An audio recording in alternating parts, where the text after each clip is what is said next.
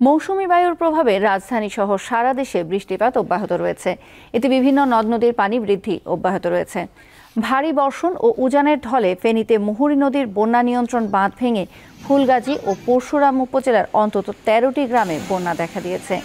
পানি উন্নয়ন বোর্ড জানায়, মুহুরী নদীর পানি বিপদসীমার দুশো পঞ্চাশ সেন্টিমিটার উপর দিয়ে প্রবাহিত হচ্ছে। পানির প্রবল চাপে এখন পর্যন্ত বন্যা নিয়ন্ত্রণ বাঁধের পরশুরামের একটি অংশে ভাঙন দেখা দিয়েছে।